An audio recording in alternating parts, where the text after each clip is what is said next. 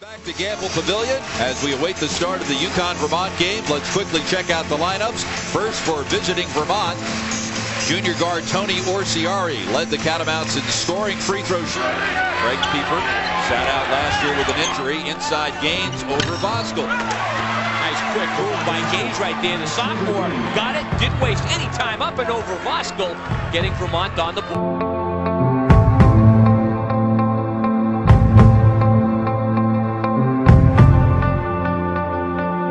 El-Amin for three.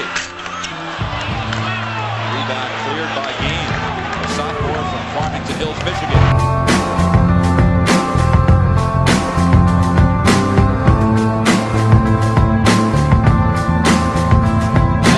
UConn up 17. Gaines inside for the finish. Now UVM needed that one. Their second bucket of the game, both by the sophomore Gaines inside.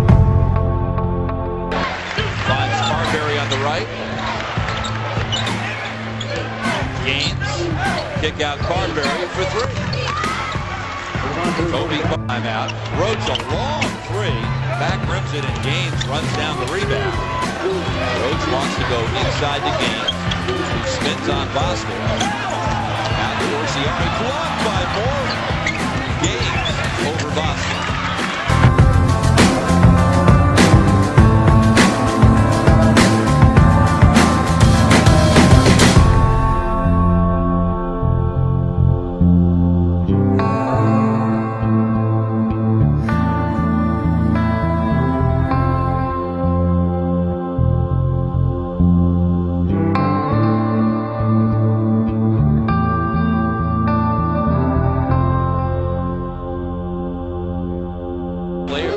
year ago.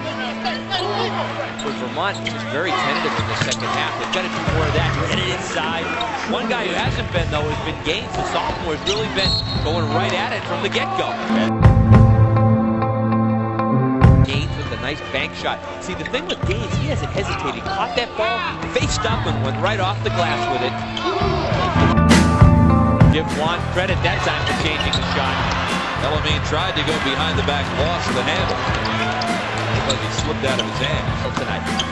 Great pass. Behind the back look to Gaines.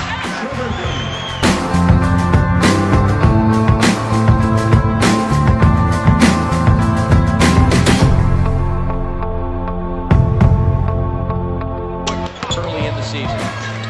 Inside, deeper, misses. Gaines with the follow, no good. Good hustle by Gaines to run down the rebound.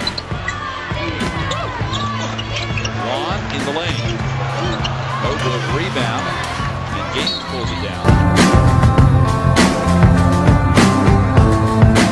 Sophomore Trevor Gaines has certainly been very consistent, a bright spot with 10 points, 8 rebounds. He really went at it as you get a good look at him.